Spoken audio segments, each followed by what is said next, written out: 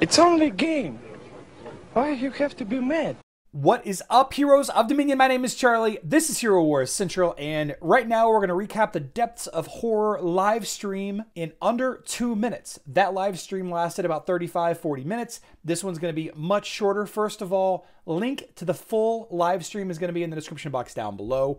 Go to that live stream, watch it if you have time. It was pretty good. There is a gift for Facebook and web players in the description of that video. Always good to have free stuff. Daniel talked about the new Dark Depth We've got Corvus, Morrigan, Sebastian. Corvus is getting physical attack. Morrigan is getting magic attack. Sebastian is getting armor. I don't know yet how I feel about all of those. We'll talk about it a little bit more in my live stream here in just a little bit. Then he discussed the event tasks to acquire the tomes that you need to fight the boss, and I'll put those on screen now. Log in VIP, buy emeralds, spend emeralds, complete missions, spend energy, open outland chests, and then fight in the arena or grand arena. Then he talked about the event itself for a little while, fought the boss, took us through the merchant. It is a seven day event there will be one additional day at the end of the event in order to spend the last of your resources, either your coins or uh, or the tomes that have been converted. And speaking of conversions, for 750 of the event coins, you'll get one chest. If you have 751 coins, it will round up to two chests, all right? So 750 equals one chest, but it always rounds up for us. And if you have any of the tomes or books left over, the scrolls, whatever they're called, for every 3 you get one chest, but like I mentioned with the coins, if you have 4 or 5,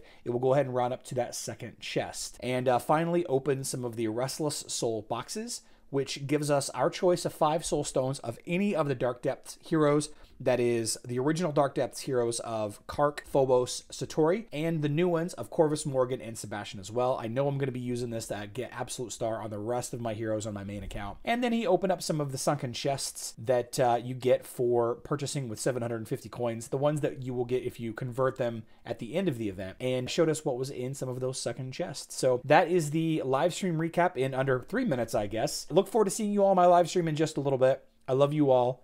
Good luck in Dominion.